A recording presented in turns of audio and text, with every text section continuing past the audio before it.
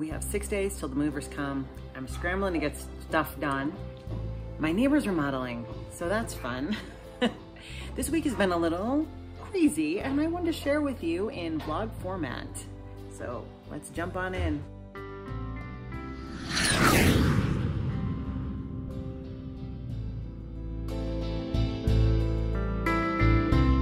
Hello, hello, hello. Today has been a day already. At least uh, I don't have anything else to do today.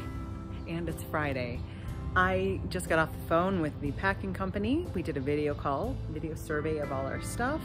Makes it easy that we're not taking very much furniture, basically only what we came with. It was actually very fast and not a big deal. And uh, we have our dates confirmed. So in less than 20 days, we will have to move out of this house and into a hotel. This whole moving thing, it's uh, getting it's getting real down to the wire. There's a lot I have to do. I have to uh, go through the things that we haven't looked at in the last year or two and see if we really need them. Some of them we don't. So let's get them out of our lives and you know maybe somebody else needs them and that'll be good. That's what's going on here. I'm working on moving. I'm working on doing some things uh, last minute that we have to get done here. I have a headache, I need some water. Yeah, moving is hard work, even when the movers will be packing for you, which will be the case for us. Believe me, I appreciate that because when we moved between Celaya and Querétaro, I had to do the packing and it was a lot of work. And here we are. Ooh, there's a butterfly.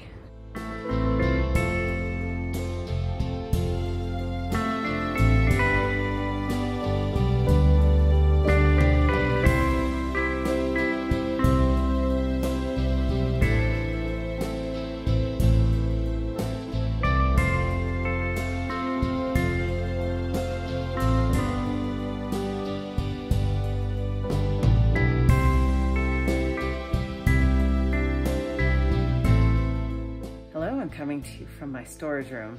Right now it has also become the new point of drop off for all the things for moving. When you are working on your insurance form for your shipment and you're using a notebook, use pencil. I had written seven sweaters and then I found two more, so I have nine. I may have more hanging around somewhere too, I just haven't found them yet. It's a lot of sweaters, I know.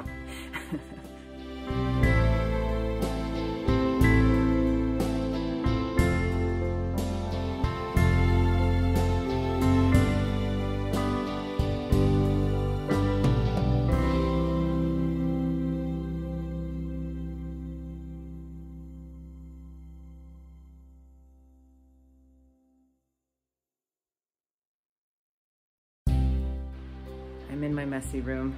I have a fan blowing in here in case you can hear that in the background. The movers come in 12 days. We move a little after that. Things are crazy. I have someone playing with both my kids so that they're outside getting some exercise, getting some energy burn off because I can't do that. I, I can't do both things at once. It feels like a lot. It feels like I have a lot, even though I'm not actually busy, I'm not going places. I, I feel like I have a lot going on today. I am I am taking a break in my kid's room because there's beds here and I can sit on it. I'm having all the feelings in the world right now. Like annoyed that I have to pack because I hate moving. I mean, who doesn't? Most people don't enjoy the actual process of it, even if they like to move around a lot. I can't believe that after five years and two months, we are going back to the US and I'm worried that it's gonna feel like a dream when I get back. Because it kind of does when I go home. It feels like Mexico is a dream. And there's so many things we could have, should have done that I want to do and haven't done. And tired of doing this, you know, bored of having to sort through all the stuff. I have got to make some progress in this room today. Yesterday I was in here and I made the mess bigger and worse. So today something's gotta, it's gotta look better just for my own peace of mind. I wanted to talk a little bit about my weekend actually, because it was a really um, kind of odd day yesterday. My friend's daughter invited my daughter to go skating at the park. So we went there, got there a little early, we are just wandering around, And uh, then I saw my friend. So my daughter and I ran to catch up with her. Well, she skated, I walked quickly. We were chatting as we're heading slowly towards where the skating class was. And all of a sudden, a dog came out of nowhere, ran up to her dog and started attacking it. Thankfully, it wasn't worse than it was. Uh, her dog did suffer uh, two bite wounds, and luckily they were not deep white bite wounds, they just broke the skin. But it left all of us, you know, my friend, me, our two eight-year-old children that were with us, shaken. And the guy could have prevented it by having his dog on a leash, who is clearly too aggressive to be unleashed at the park. My friend's dog was leashed. So he was not a threat to this dog in any way, shape, or form. Plus, he was like this big, and the other dog is this big. So other than that, the day was really good. There's just a lot I'm stressed out about right now. Trying not to be, cause, you know, all the sorting will happen or it won't. And we are currently estimated under our weight limit, which is awesome, really awesome, because I didn't want to pay, I don't want to pay extra. Oh. I don't want to be in this room anymore. It's hot. It's only like 10. Haven't done anything yet except make videos because that's way more fun than sorting. Yeah, it's a heavy rain. Right at rush hour too, you know how it is. My other child is in the car, so we are enjoying the rain in our own ways.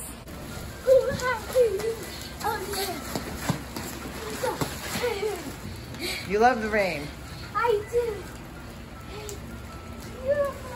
Which I'll be tired of when I move to Ohio, where it rains constantly.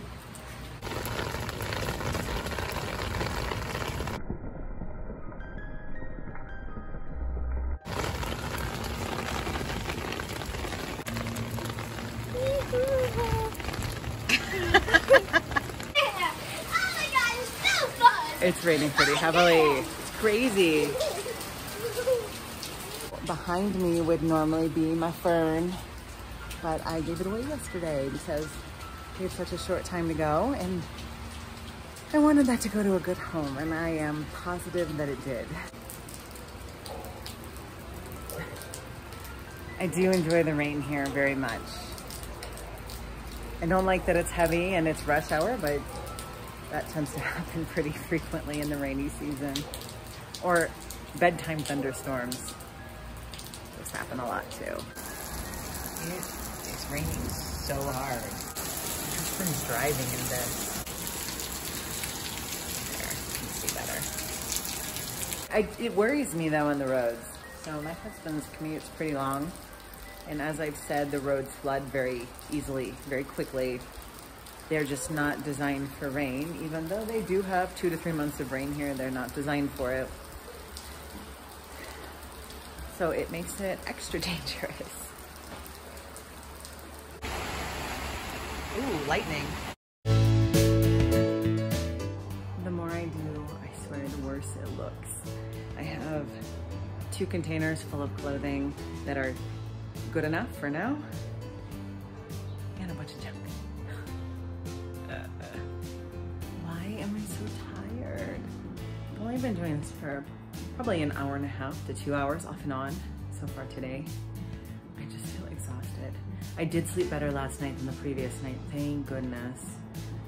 And I am making progress. And this week, I have one week today till the movers come. So I want, I want so many things. I want to snap my fingers and have this done. Another interesting thing happened last night. Um, one of the other expat moms called me. We discussed exactly that, how we wish we could snap our fingers and be done or go to sleep and wake up and oh, we're already moved back to Ohio. We can't do that, so here we are. Yeah, my neighbor is hammering something. I don't know what. It's loud. it's better than when he does it at like 11 o'clock at night though, so I'll take it. Little interjection here. My neighbor is having his roof garden redone and it's really loud. So the next seven days, that's what I'll be living with. All right, I'm gonna try to get some more stuff done and then work on editing this video into something somewhat coherent because there are just so many pieces. It's more of a vlog this time, I guess.